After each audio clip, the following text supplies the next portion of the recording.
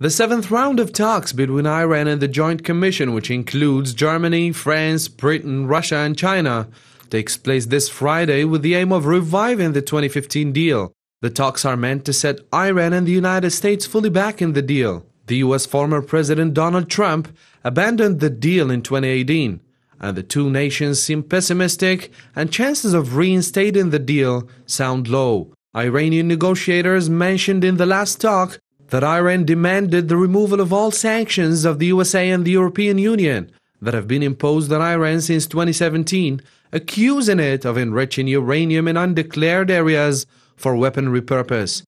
Iran's Foreign Ministry Deputy Ali Bagheri explained that the USA and its allies should give guarantees that no new sanctions would be imposed in the future.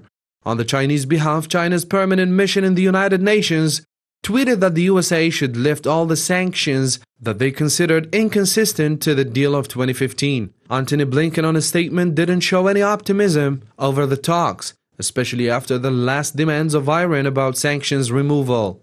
As quoted by Iranian media, Hossein Amir Abdollahian, Iranian foreign minister, mentioned that they went to Vienna seeking serious negotiations with a solid determination, but they were not very optimistic about the intention of the United States. This meeting between Iran and the other poles in a form of indirect talks between Iran and the United States wraps up this week's talks. However, no clear answers can be decisive over the nuclear issue in the region.